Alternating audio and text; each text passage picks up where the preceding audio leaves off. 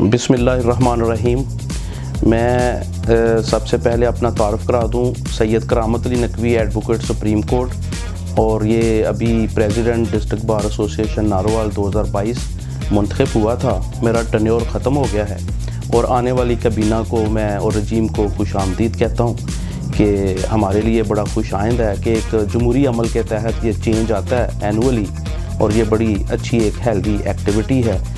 मैं 1996 में वकील बना था और 1998 में नारोवाल और हाई कोर्ट दोनों जगह पे प्रैक्टिस शुरू की।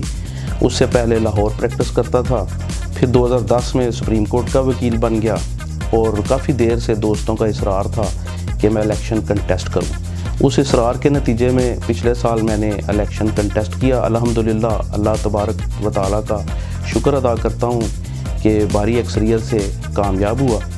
और पन्नू ग्रुप जो है, पन्नू ग्रुप जो है, उस के ज़रिए से मैंने इलेक्शन कंटेस्ट किया था।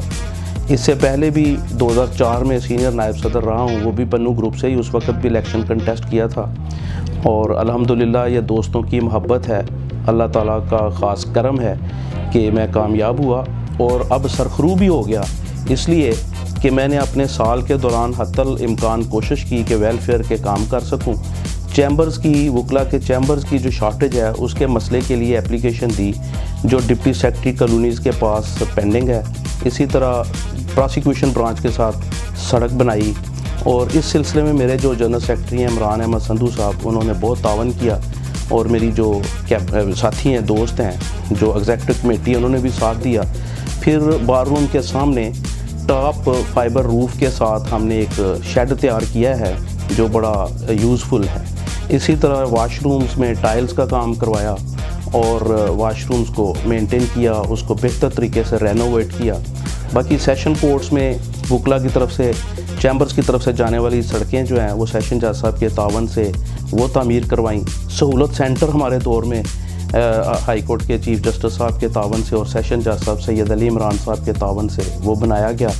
वहाँ से एफआईआर की कापी मेडिकल रिपोर्ट्स की कापी और दीगर जो पोस्टमार्टम रिपोर्ट है उसकी कापी मिल सकती है। और ये सहूलत बहुत बड़ी सहूलत है हती कि ड्राइविंग लाइसेंस रिन्यू करवाया जा सकता है। मैं समझता हूँ इसी तरह लाइब्रेरी को मेंटेन किया और अपने दोस्तों के इंडिविजुअल काम करने के लिए हर वक्त 24 फोर आवर्स अवेलेबल रहा। मैं समझता हूँ कि वकला की नुमाइंदगी करना एक बड़े एजाज़ की बात है। अल्लाह ताला ने मुझे इस एजाज़ से नवाजा। ये दोस्तों की मोहब्बत है और दोस्तों का ही ख़ास करम है। उनका मैं मशहूर हूँ और यकीनन कोई भी इंसान मुकम्मल नहीं हो सकता।